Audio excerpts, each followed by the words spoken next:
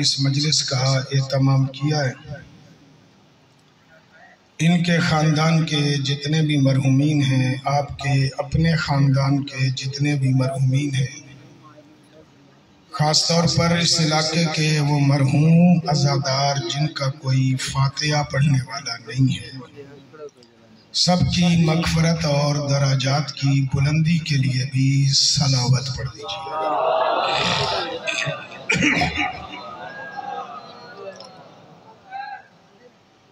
अज़बिल्लाशैतानरजीम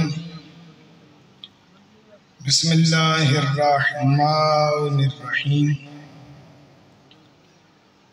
अल्हम्दुलिल्लाहिल व फ़र्द समद अल्लज़ी लम यलिद वलम यूलद वलम यकुन लहू कुफुवन अहद असलातो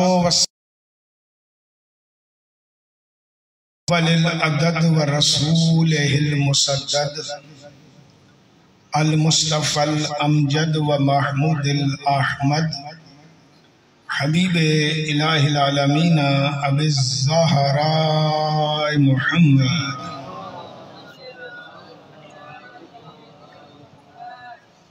सुमसलातो वसलाम अला अहल बैत नबुवा व मअदन रिसाला व मसाबीहिल हिदाया व सफीनतिन निजात। अम्मा बाद।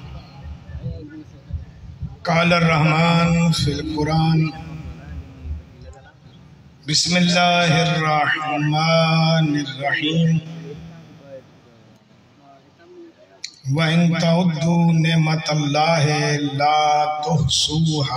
सलावत पढ़िएगा मिलके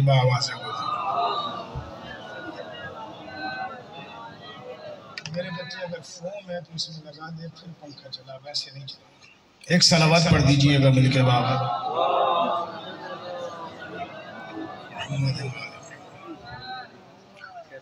अरबाबदान शाह साहिबा ने इल्मजरत ये इनका मामला है, ये सेट करते रहेंगे। आप जहनी तौर पर मेरी तरफ़ मुतवजो हों। आज थोड़ा जल्दी इसलिए भी आया हूँ कि यहाँ हर साल तकरीबन ऐसा ही होता है कि एक घंटे में हम चार बंदे पढ़ के जाते हैं। ऐसा होता है ना आप भी सामने आ जाए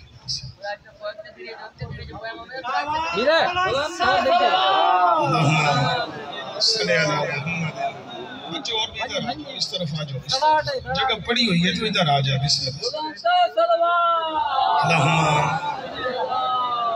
मोहम्मद चाहते ये है जाए तो वो देने के लिए हाजिर होते हैं। तो इन आज की गुफ्तु अल्लाह की अब मेरे बच्चे जो मर्ज़ी है कर। अल्लाह की दी हुई नेमतों पर गुफ्तगु करेंगे। कायनात इंसानियत में कोई इंसान ऐसा नहीं जो अल्लाह की दी हुई नेमतों का इकरार न करता। अल्लाह को माने या न माने? वाहदा शरीक माने या न माने? लेकिन उसकी दी हुई नेमतों का एतराफ करता है। वो इतना बड़ा करीम है कि वो अपने दुश्मन को भी नेमतें देता है और अपने दोस्त को भी नेमतें देता है। फिर वो इतना बड़ा करीम है कि नेमतें देने के बाद खुद नहीं छीनता। हम अगर किसी को कोई चीज़ दे दें, कल हम नाराज़ हो जाएँ तो फिर हम कहते हैं कि हमारा सारा माल वापस कर। वापस न भी मिले तो फिर लोगों में बैठ के जताते हैं कि हमने इसे ये भी दिया था, ये भी दिया था, ये भी दिया था। अल्लाह वो करीम है कि अपने फिरौन जैसे दुश्मन को भी देकर जताता नहीं है। उसे कहते हैं, मैंने तुझे दे दिया तो दे दिया क्यों ऐसा क्यों है? याद रखिएगा, वापस वो लेता है जिसका माल खत्म होने का इम्कान हो। और जिसके खजाने में कोई कमी न हो, वो दे के वापस नहीं लिया करता। इन चीज़ों को समझिएगा। ये जो मौलवी साहबान मेरे पीछे बैठे हुए हैं और मेरे बाद कई मौलवी साहबान बुजुर्गान आएँगे एक तो इन्होंने आपको डराया हुआ है। कि अल्लाह तुमसे नेमतों का हिसाब ले। डराया हुआ ये। रोटी खाने लगे तो कहते हैं, थोड़ी खा।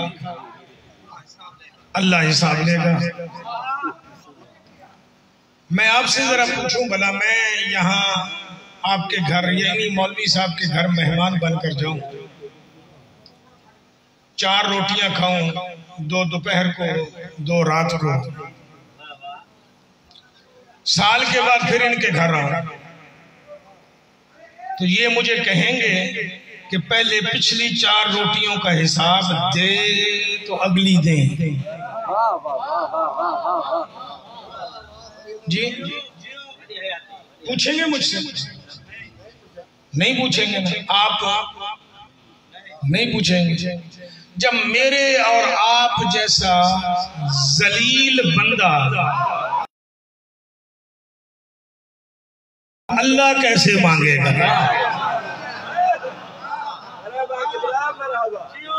असल में मामला पता ये है कि हमने आपको अल्लाह से डराया। हमने क्या किया? अल्लाह से डराया। वो आयत है, उसका तर्जमा करते हैं इत्तकुल्ला अल्लाह से डरो। बूढ़ों का तो मुझे पता नहीं है, लेकिन ये जवान अल्लाह से इतने डर गए हैं कि जिस गली में अल्लाह का घर हो, ये उधर जाते ही नहीं है। जिन्हें मेरी बात समझ में आ रही है, यार। वो मेरे साथ बोलिएगा, जिन्हें बात समझ में आ रही है। जिस गली में अल्लाह का घर है, ये बेचारा डर की वजह से उधर जाता ही नहीं है, क्योंकि मौलवी साहब ने रोज जो कहे अल्लाह से डरो, अल्लाह से डरो, अल्लाह से अब बंदा जिससे डरे उसे सलाम देगा। उसकी गली से गुजरेगा ही नहीं। अब फिर मौलवी शोर मचाते हैं कि नमाज़ नहीं पढ़ता। वो नमाज़ तब पढ़ेगा ना पहले इसे बता कि अल्लाह गफूर भी है, करीम भी है, रहीम भी है। हमने इसे डरा दिया अल्लाह से कि डर इत्तकुल्ला का माना डरना नहीं है। बच। और ये बात इन बच्चों को भी समझ में आ जाएगी कि अपने से बड़े की नाफरमानी नहीं करनी चाहिए। माँ बाप भी बड़े हैं, उनकी नाफरमानी नहीं करनी चाहिए। अल्लाह भी बड़ा है, उसकी नाफरमानी नहीं करनी चाहिए। जिससे बंदा डरा दिया जाए, वो बुलाए बंदा, तब भी नहीं जाता। अल्लाह कुरान में कह रहे हैं, मुझसे डर नहीं। मैं तेरा मालिक हूँ, मैं तेरा खालिक हूँ, मैं तेरे ऊपर एहसान करने वाला हूँ, मैं तुझे नेमतें देने वाला हूँ। जब तुझे मांगना भी नहीं आता था, मैंने तब भी तुझे अता किया है। नहीं दिया उस अल्लाह ने। हमने माँ बाप मांगे नहीं, उसने बगैर मांगे दिए। इतनी बड़ी नेमत उसने हमें बगैर मांगे। अता की हमने मांगे नहीं कि माँ बाप दे, उसने हमें माँ बाप दिए हैं। अल्लाह ने हमें क्या नहीं दिया।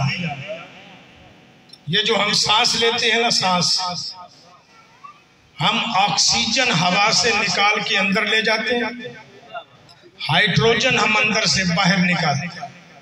इस हवा में कई गैसें हैं। इन गैसों में से हमारा नाक सिर्फ़ ऑक्सीजन अंदर लेता है।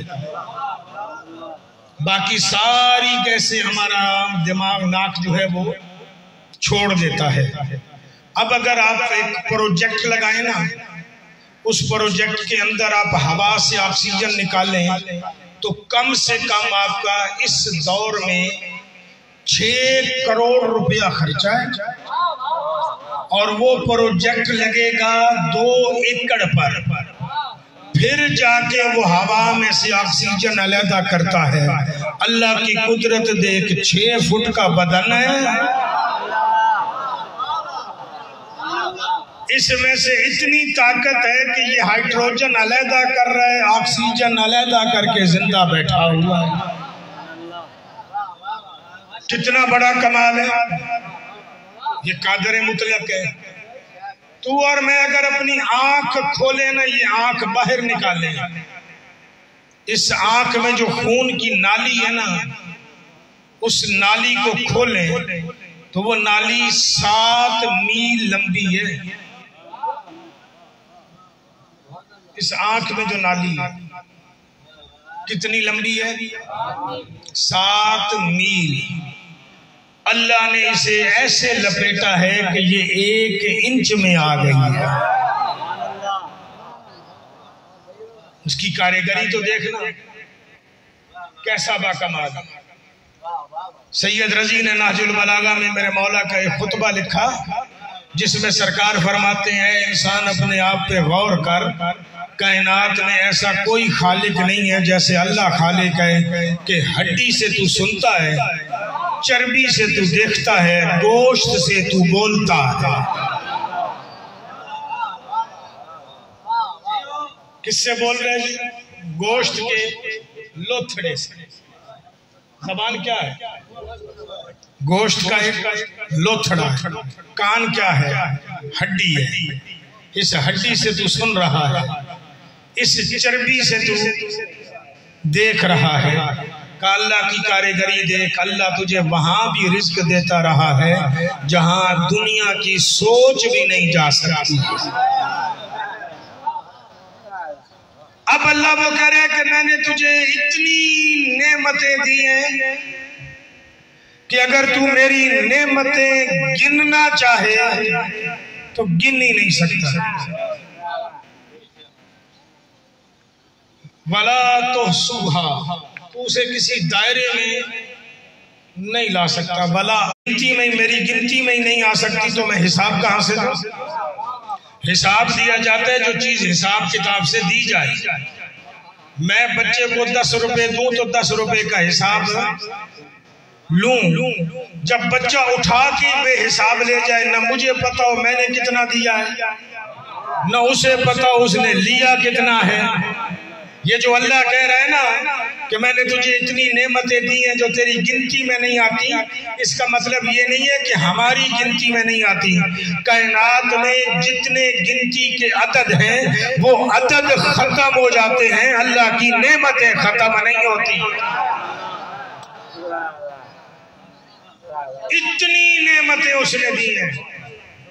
रब अकबर की इज़्ज़त की कसम तू और मैं अगर अपने इस छह फुट के बदन के वजूद में अल्लाह की नेमतें गिनना शुरू कर दें तो हम यहाँ भी गिन नहीं सकते हैं। इस छोटी सी कायनात में इतनी नेमतें हैं। तो फिर हिसाब कौन सी नेमतों का लेगा?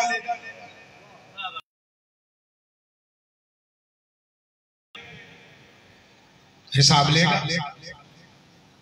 तो फिर कौन सी नेमतों का हिसाब लेगा? आज की इस मजलिस में आपको वही नेमतें बतानी है, जिन नेमतों का उसने हिसाब लेना है रोटी का नहीं लेगा जितना दिल करे कमा, इतना दिल करे खा। तुझे कोई टेंशन नहीं होनी चाहिए कि मैं खा ज़्यादा रहा हूँ। आज मैं तीन रोटियाँ खा गया हूँ तो फिर हिसाब कैसे दूँ न्याज खानी है, बेहिसाब खा। मेरी जेब से खर्चा भी नहीं, खर्चा जिसका है उसको पता होगा कितना है। मैं तुझे कह रहा हूँ, बेहिसाब। खा इसका कोई हिसाब नहीं। वो एक एक चार चार आने का हिसाब नहीं करेगा। हाँ अगर वो हिसाब करेगा तो सिर्फ़ एक बात का करेगा और वो बात जहन में रख। उसने कयामत के दिन सिर्फ़ इतना पूछना है, बता, कमाया हलाल था या हराम था? अगर तूने हलाल कमाया है तो अगला सवाल करेगा कि बता खर्च हलाल पे किया था या हराम पे किया था?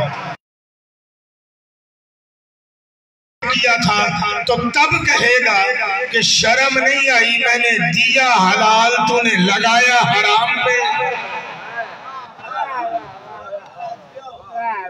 एक बात ये जेन में रखिएगा, दूसरी बात।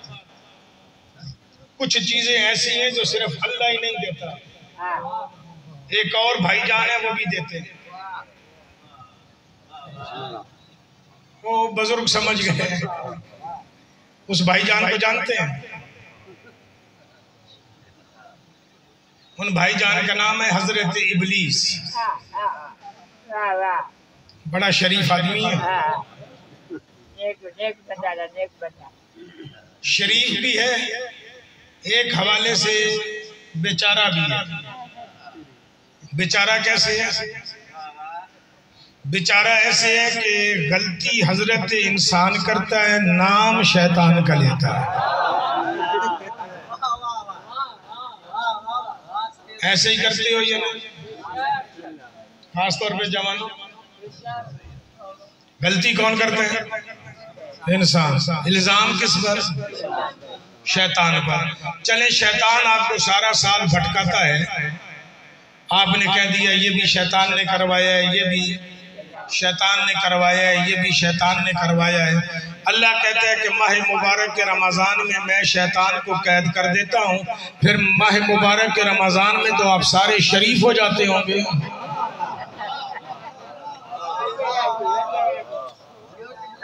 शैतान है अल्लाह की। जेल में गिरफ्त में, कैद में, वो भाग सकता है वहाँ से? कादर मुतलब की जेल में सखर की जेल में हैदराबाद सेंट्रल जेल में नहीं, कादर मुतलब की जेल में है। है भी पूरा महीना कैद।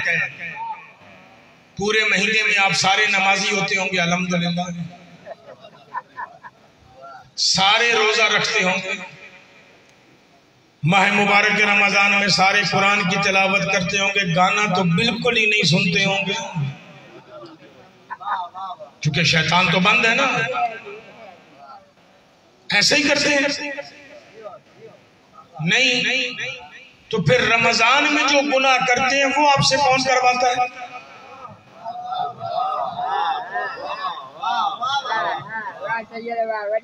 खुद समझना तेरे अंदर का शैतान कराता है। खुदा की कसम, अल्लाह की हस्ती भी बड़ी मजलूम है। शैतान पे तो हम इल्ज़ाम धरते ही धरते हैं। अल्लाह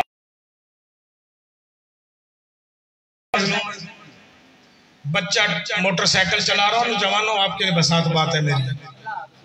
मैं तो रोज सड़कों पे देखता हूँ बच्चा मोटरसाइकिल चला रहा हो ना, सामने से यूँ ट्रक आ जाए। ये यूँ करके यहाँ से कट मारे। कहते हैं, वाह, मैंने क्या कमाल का कट मारा। माँ बाप भी कहते हैं, मुझे पुट डाडो, सियाणो बड़ो यूँ ट्रक सामने आ रहा था, ऐसे करके कट मार के निकल गया है। और अगर वहीं पर कट न लगे और खुदा न खास्ता ट्रक के नीचे आ जाए। फिर बाप भी कह रहा होता है, जी, अल्लाह की मर्ज़ी।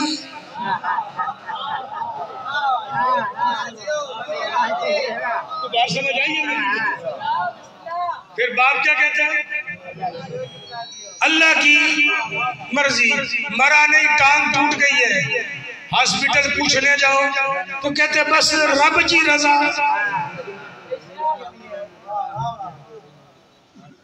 गलती किसकी?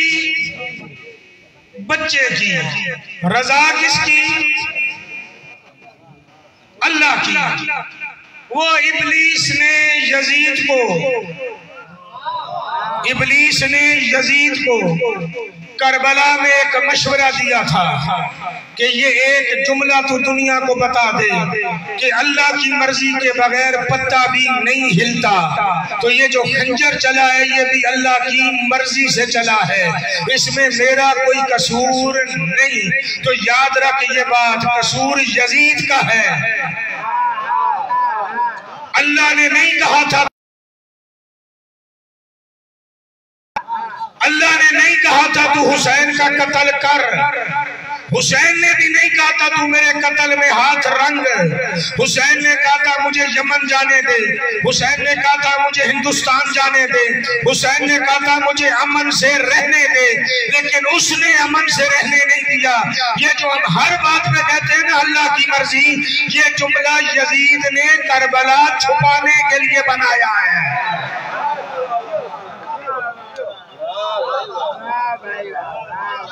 अपनी गलती माँ। अल्लाह पे इल्ज़ाम न धर काम अच्छा हो जाए तो मेरा कमाल है। मैं बड़ा कलमंद हूँ, जो कट मार के निकल गया। वहाँ नहीं कहता कि अल्लाह ने बचाया है। कट मार के निकल जाए तो नहीं कहता कि अल्लाह ने वहाँ पे क्या कहता है? बड़ो होशियारा। वहाँ होशियार है। तो जब ट्रक के नीचे आ गया तो होशियारी कहाँ गई है? फिर रब जी रजा। गलती हमसे जब भी होती है तो रजा हम रब की, या शैतान के खाते में, या अल्लाह के खुदा की कसम अजीब लोग हैं हम। तू मजलिस भूख खत्म कराने के लिए कराता है या वाजिब समझ के कराता है? तू और मैं हुसैन का मातम उसको मजलूम समझ के करते हैं या अपनी रोटी रोजी के लिए करते हैं? अगर रोटी रोजी के लिए करते हैं तो मजदूर हैं अगर मालिक राज़ी करने के लिए करते हैं तो नौकर हैं।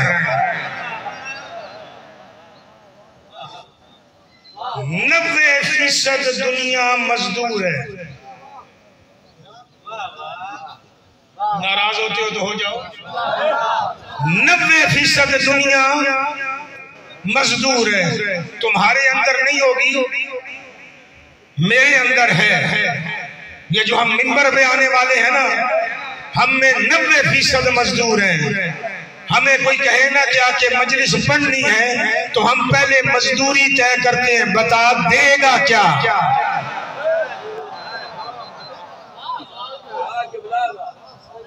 तूने मकान बनवाना और राजे के पास जा तो राजा तुझे क्या कहेगा, मैं दिहाड़ी कितनी लूँगा? पंद्रह सौ, दो हज़ार में। दिहाड़ी लूँगा। तू कराएगा थोड़ी बहुत छट छूट। वो हज़ार दो सौ की जगह, हज़ार की जगह हज़ार नहीं छोड़ेगा। सौ दो सौ छोड़ के तेरे साथ वो दिहाड़ी करने आ जाएगा। जो तेरे घर की दिहाड़ी करने आया है, वो तेरे साथ मुखलिस नहीं है। राज़ी रहता है या नाराज़ रहता है, जो मजलिस की फीसें तय करके मिंबर पे आता है, वो मजदूर है और बतूल के घर के साथ मुखलिस नहीं है।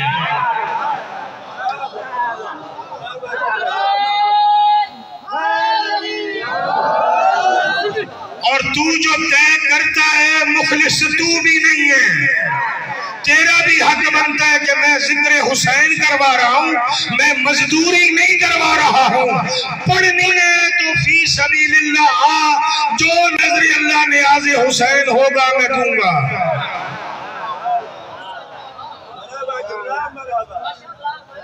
तूने हमें बनाया है, मजदूर हम बन गए मजदूर। तूने हमें नौकर रहने ही नहीं दिया। नौकर का काम नहीं मालिक को आजमाए। मालिक का काम होता है नौकर को आजमाए। जो नौकर मालिक को आजमाए ना वो नौकर लानत का हकदार होता है।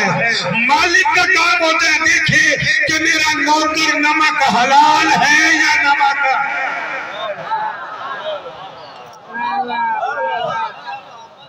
Yeah. क्या बैठे हो, नौकर बैठे हो या मजदूर?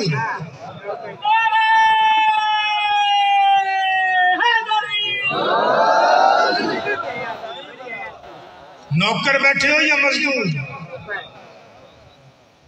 नौकर बैठे हो ना? तो फिर मौला को क्यों कहते हैं, मौला तू ये भी कर, तू ये भी कर, तू ये भी कर? मौला तेरा मुलाजिम है? जेनी सतह बुलंद कर, वो मौला है। उसके कदमों पे जाके हाथ रख के कहे, मौला, अगर तेरी मर्ज़ी है तो नौकर को दे, तेरी मर्ज़ी नहीं है तो न दे। अली से दुआ का सलीका सीखना। अली कहते जब अल्लाह मेरी मान लेता है तो मैं खुश होता हूँ कि मालिक ने नौकर की मान ली है। और जब अल्लाह मेरी दुआ कबूल नहीं करता तो मैं कई सजदे शुक्र करता हूँ कि शुक्र है, नौकर मालिक की मर्ज़ी पे राज़ी है।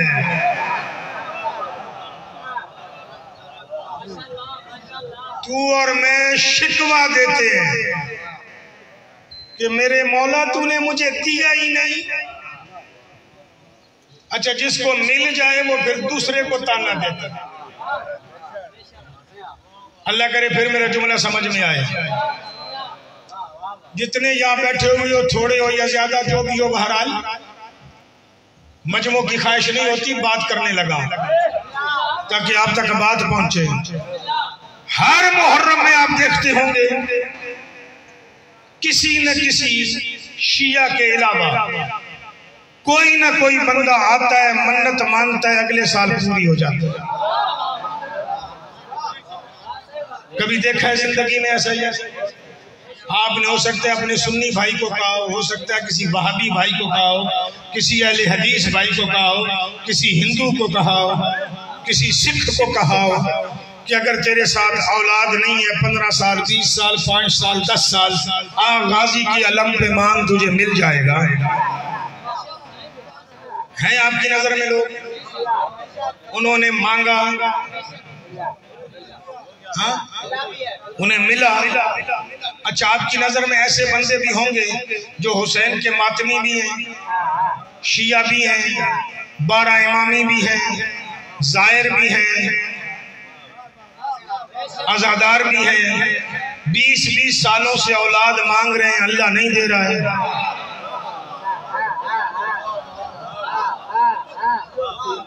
हैं बंदे ऐसे नज़र अच्छा अब जिस आजादार को नहीं मिल रहा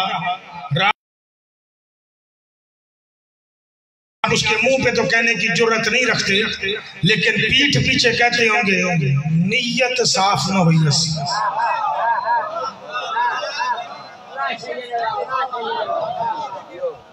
कहते हैं नहीं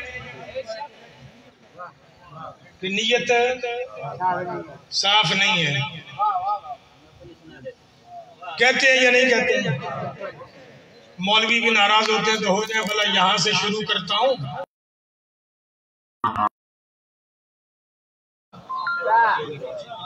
हाँ?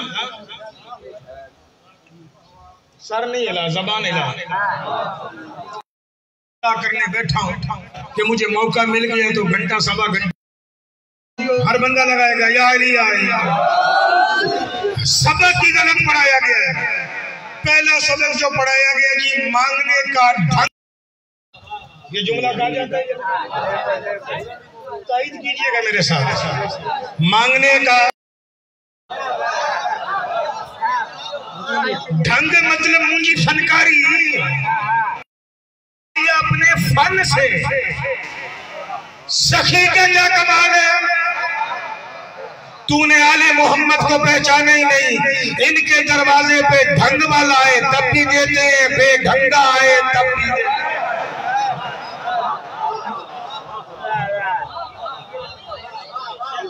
अगला सबक फिर गलत पढ़ाया गया इस मंदिर से।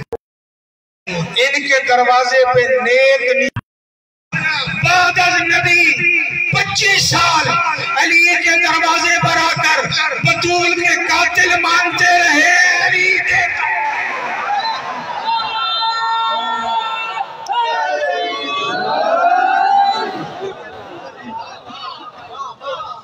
बतूल के कातिलों की नीयत सही थी? नहीं दिया अली ने उन्हें। अगर न दिया होता ना तो नबी नबी के नौकरों में से एक नौकर कभी न कहता कि लौला अली हाला का उमर। अगर अली न होता, उमर तो मारा गया था।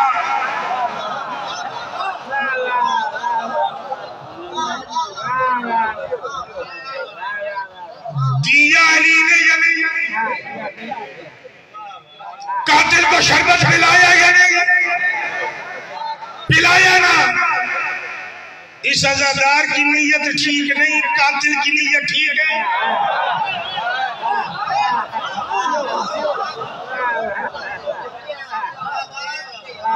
इस अजादार को जो तू ताना दे रहा है कि फुला ने अलम के नीचे मांगा उसे मिल गया तूने जाके गाजी की जरी पे मांगा, तुझे नहीं मिला। तुझी नीयत साफ़ न हुई। इब्ने मुलजिम की नीयत साफ़ थी।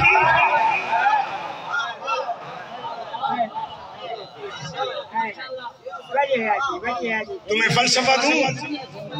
सादा करूँ बात, ताकि तुझे बात समझ में आ जाए। उससे इसलिए दे रहा है गैर को इसलिए दे रहा है क्योंकि वो आया ही लेने हैं।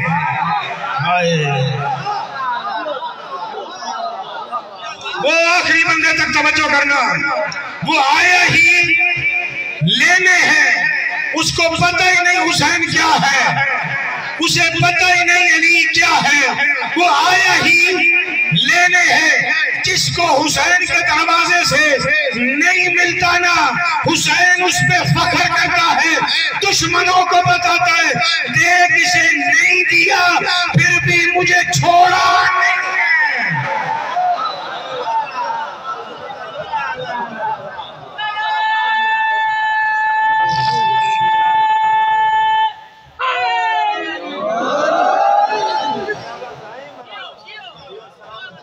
जब हुसैन के आजादार को नहीं मिलता, हुसैन फखर करता है कि देख मैंने इसे नहीं दिया। मेरी माँ ने भी इसे बीस साल से तरस रहा है, औलाद उसने बीस हज़ार कम पे क्या कहा? किसी और को पढ़ा ले, मैं नहीं पढ़ूँगा। वो बंदा कौन सा मुखलिस है जो बीस हज़ार के लिए हुसैन छोड़ रहा है?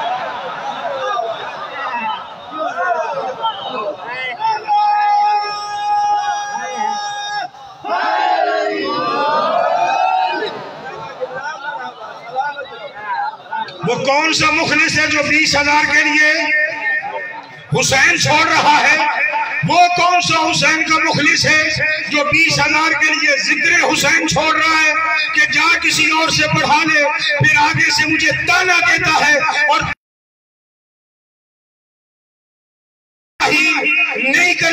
मेरा रेट क्यों गिरा रहा है? क्या कुरान में आए है कि तू मुझी से पढ़ाए? फिर आगे से मिंबर पे बैठ के कहते हैं कि मिंबर पे आता ही वो है, जिसे वो दिखाते हैं। अगर तेरा ये नज़रिया है तो फिर जरा सोचना, मोहम्मद के बाद सकीफा वाले जो मिंबर पे बैठे थे, उन्हें किसने सिखाया है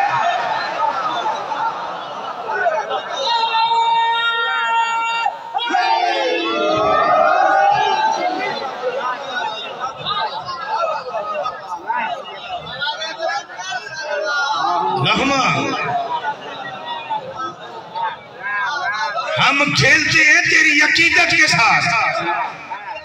जी मिंबर पे वो आते जिसमें बीबी मोहर लगा दे। अपनी फनकारी को बचाने के लिए तेरी अकीदत के साथ खेलते हैं।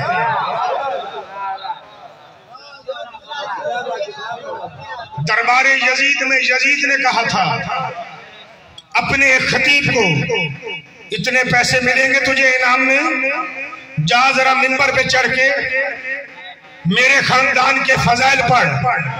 वो जब फजाइल पढ़ के थक के उतरा ना तो सजाद ने एक जुमला कहा कि इस लकड़ी के ढेर पे मुझे भी जाने। मैंने वहाँ जाके तहकीक की है वाकई उस इमाम बरगा के बानी आप है। मैंने कहा, शरीफ आदमी इतना दूर चुके हैं, मुझसे नंबर लेके बात। यानी मोमिन तहकीक करने भी आ जाते हैं। अब इनको इतना नादान न समझो कि हम जो कहानी सुनाकर जाएँगे, ये मान जाएँगे, नहीं मानते ऐसे। तस्दीक करते हैं। जो काम किया है वो करता हूँ। मुझे कोई बंदा कहे ना कि इतने पैसे दे, मजलिस पढ़ूँगा। मैं हाथ जोड़ के कहता हूँ, आज के बाद नहीं आने। मैं उससे पढ़ा लूँगा जो तय नहीं करता। मुझे एक बंदे ने कहा, उसने कहा, काजमी को अल्लाह ने इतना दिया हुआ है, खुद भी मजलसों की फीसें लेता है तो मुझे देते उसे कौन सी तकलीफ़ है? उसने डायरेक्ट मांगे मुझसे बीस हज़ार। पाँच, छह साल पहले की बात है। मैंने फिर उसे फ़ोन करके कहा, मैंने कहा, भाईजान, मैं आपसे बेहतर पढ़ लेता मैं तो आपकी इज़्ज़त की खातिर कह रहा था कि आप आ जाए तो शान बढ़ जाएगी, आपकी भी मजलिस की। हालत हमारी ये होगी। खुदा के लिए अपने मिंबर को सुधारो। मुझे रब अकबर की इज़्ज़त की कसम है, हम लेने वाले मुजरिम नहीं, आप देने वाले भी मुजरिम हो। आप जो मैंने अगर गलती से मांग लिए कि तीस हज़ार दे अब तू आगे से मुझे कह रहे कि नहीं, मैं गरीब आदमी मैं हुसैन के नाम पे तुझे तीस हज़ार नहीं दे सकता। बीस हज़ार दूँगा, तुझे भी शर्म नहीं आती कि तू मेरे साथ हुसैन के लिए सौदा कर रहा है। मैंने तीस मांगे हैं ना, तेरा काम है पैंतीस हज़ार उठा के मेरे मुँह पे मार कि ये ले हुसैन के नाम का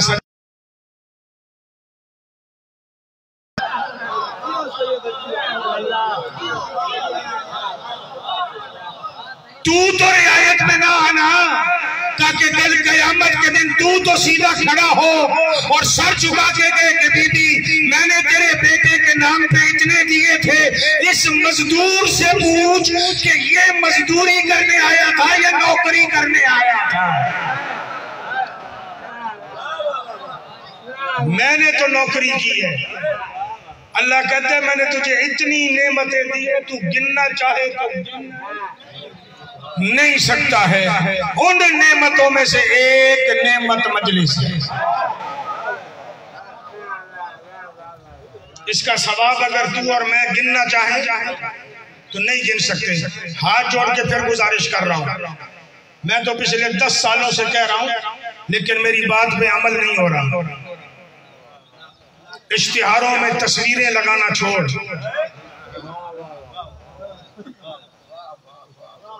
खुदा की कसम कभी कभी दुख होता है। मैंने कई इश्तिहार देखे, मैं किसी और की बात नहीं करूँगा। मैंने बानी को फ़ोन करके भी कहा। कई इश्तिहार देखे, मेरा नाम इतना बड़ा है, जहरा के बेटे का नाम इतना।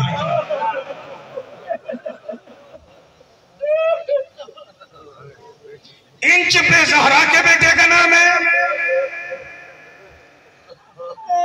दस उंगलियों के बराबर मेरा नाम है। मेरी औकात ही क्या है? और साथ में तस्वीर भी बड़ी। तू लिख मजलिस इमाम हुसैन ग्यारह सफ़र को, जिसमें पाकिस्तान के जाकिरीन खिताब करेंगे। फिर जिसने मजलिस सुनने आना है, वो आएगा। जिसने इमरान काजमी सुनने आना है, वो बेशक ना आए। अब रवाज बन गया पहले हम फ़ोन करके पूछेंगे केर कर अच्छे तो? फुला किस टाइम पढ़ेगा? क्योंकि मुझे सुनना जो उसे खुदा के लिए घरों से निकला करो, नियत करके निकला करो कि मजलिस इमाम हुसैन सुनने जा रहा हूँ, कुर्बतन अल्लाह जाकिर मौलवी को सुनने की नीयत से न आया कर। इन बिनियात अमलों का दारो मदार, नीयतों पर है। अगर तू जाकिर और मौलवी सुनने की नीयत से आएगा तो कयामत के दिन अजर भी जाकिर और मौलवी से लेना बतूल नहीं देगी। इसलिए बानियों को गुजारिश कर रहा हूँ। हाथ जोड़ के। कि ये तय करने वाले भी पढ़ाना छोड़, इश्तिहार निकालना भी छोड़। खुदा की कसम, लोगों को मैंने लड़ते देखा। लड़ते। जाके तेरा सफ़र के बानियों से पूछिएगा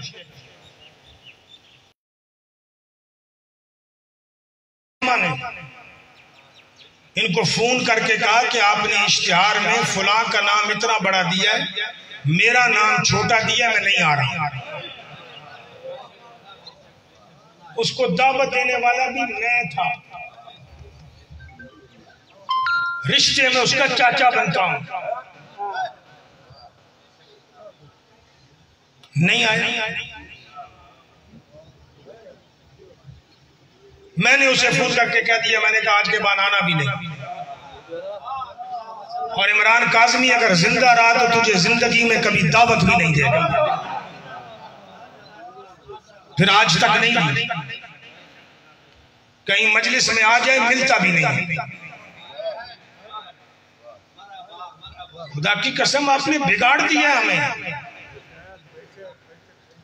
हम उधर गाड़ी से उतरते हैं हमारे लिए स्टाफ पर मोटरसाइकिल खड़े प्रोटोकॉल के लिए।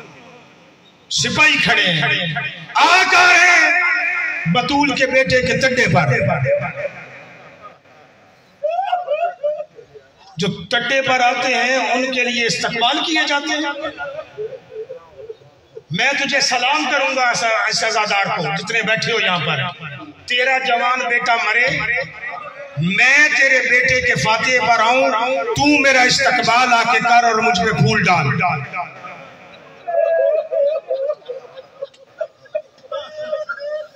मैं सलाम करूँगा तुझे मैं ये लफ्ज कहना भी नहीं चाहता, मरे। अल्लाह करे तेरी औलाद ज़िंदा रहे। क्योंकि बाज औकात मुँह से निकले हुए लफ्ज पूरे हो जाते। तजर्बे में आयु बात है। मेरा बाप जो मर जाए, पिछले से दो साल पहले मेरा जवान भाई मरा था, कायदे मोहतरम जैसा बंदा मेरे पास फातिया पर आया। मैंने तो इस्तेमाल नहीं किया क्यों? आ किस पे रास्ते टड्डे